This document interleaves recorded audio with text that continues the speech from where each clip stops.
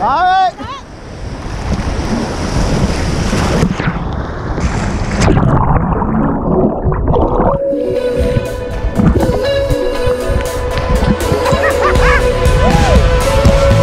Back in July, I hatched up an idea.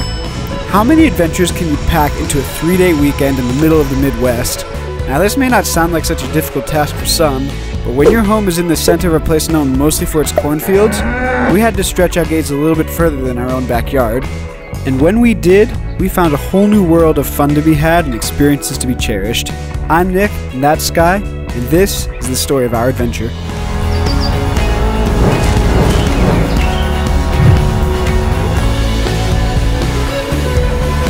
The first leg of our journey took us to Mega Caverns outside of Louisville, Kentucky. Our purpose in this mega man made cave was to experience the zipline course that spanned over massive corridors and deathly drops within the walls of stone. Now, unfortunately, dark caves and limited ways to point a camera while hurtling down a steel cable meant most of our footage ended up looking like this or like this. But take our word for it, this tour is one of the most unique experiences you can sign up for. The lights that painted the walls and ground in such magnificent colors, paired with well experienced tour guides, made this tour something truly memorable. You want to see something cool before I go down there? Is this hooked up on the other side or is it sitting down there in the mud? You can't really tell if the other side's hooked up or not, hooked up or not with 100% certainty. So how you check this? on a heartbeat test. Real fancy term is a, is a rhythm resonance test. Basically, if this is hooked up right, it's a giant guitar string. If I put a rhythm into it, it'll go all the way down and come all the way back exactly the same. We close.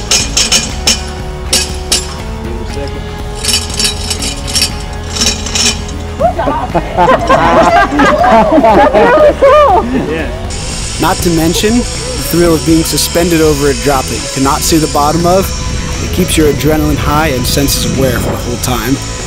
So, with our minds opened and our bones chilled in the caves, it was time to resurface for the next destination in the journey. From the cold and dark caves of the mega caverns, our next destination was the hot and unforgiving rock slabs of the Southeast Mountain Guides course. This is where the thrill really kicks up a notch.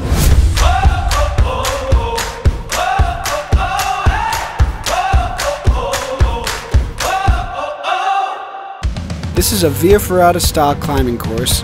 The idea of the course is to make the act of rock climbing accessible to anyone without the potential danger that can come from an experience. But don't let the rebar and steel cables fool you. This is still real rock climbing. It demands a good deal of strength and no small amount of concentration to be achieved. It is hot, tiring, and your arms will not work right for the rest of the day. But unlike some of the other adventures you can do in this region, there's a level of camaraderie and shared achievement that anyone who's climbed for the day comes to understand. Talking with other climbers about sections they were able to overcome and techniques they used to get past difficult parts makes this experience, in my opinion, better than any other off the shelf adventure you can find. This is one you really have to do for yourself to understand. We loved every minute of it and can't wait to come back to conquer it again. But as mentioned before, it left us hot, exhausted, and in need of a refresh from the day's grind. Enter our final destination.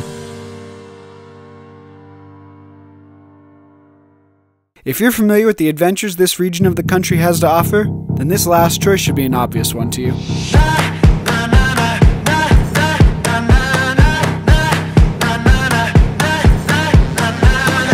West Virginia is known the world over to have some of the best rapids in its rivers, the two most famous of which are the New River and the Gauley River. We signed up with River Expeditions in Oak Hill, West Virginia to check out what all the hype was about. Our tour followed 8 miles of the New River in the dead of summer, which translates to the worst possible time of year to visit, as this is when water levels tend to be the lowest and the rapids tend to be rocky and shallow. But nobody told the rapids that on this day. The river was flowing strong and with enough force to remind its visitors that the water still controls all.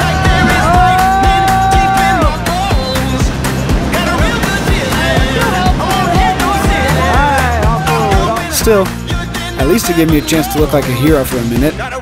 There's a very good reason why this is the most popular outing to do in this region and why there are so many outfitters who offer this in their tour packages. It's a damn good time. No matter what time of year you go, you're guaranteed a great ride.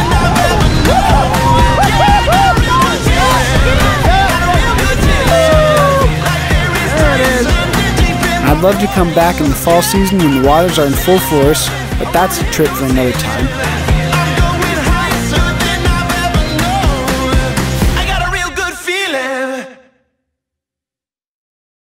And that's it.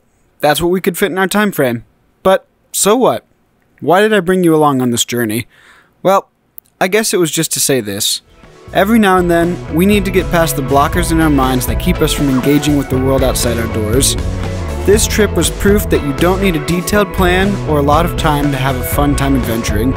I challenge you, drop it all for a couple of days and let the heat of the sun, the flow of the wind, and the cold of the spray bring the life back into your soul. Not to mention that sharing it with someone else makes it all the more fun along the way.